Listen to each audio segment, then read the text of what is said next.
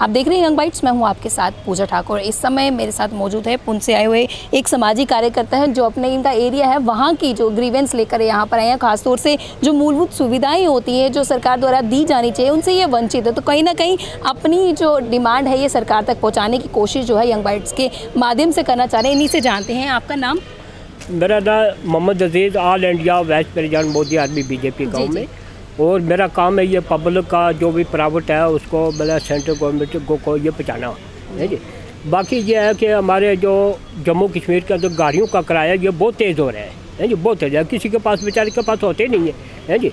एक तो ये किराया डाउन किया जाए एक बिजली का किराया वो डाउन किया जाए एक पानी और बिजली का जो ये फ्री किया जाए। है जी? हाँ।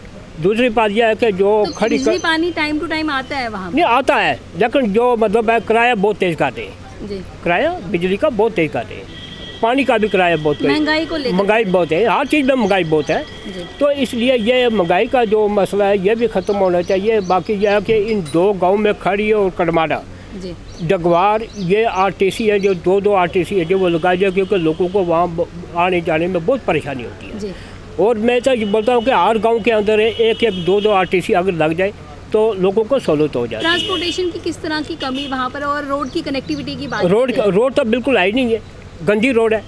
वहाँ गाड़ी को छोटी ये मेटाडोर या गाड़ियाँ कोई जाती नहीं है वहाँ पर। है जी?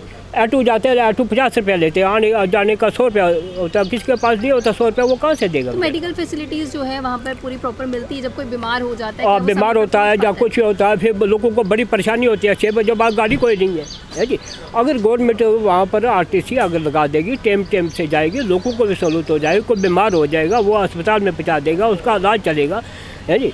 तो ये मतलब है मैं सेंट्रल गवर्नमेंट को और गवर्नर साहब को ये गुजारिश करता हूँ कि ये दो डगवार और खड़ी करमाड़ा इनमें सरकारी आर आरटीसी जो वो लगाएँगे एक बिजली और पानी है जो हमारे डिस्ट्रिक्ट जम्मू कश्मीर के अंदर है जो जो फ्री किया जाए। क्यों?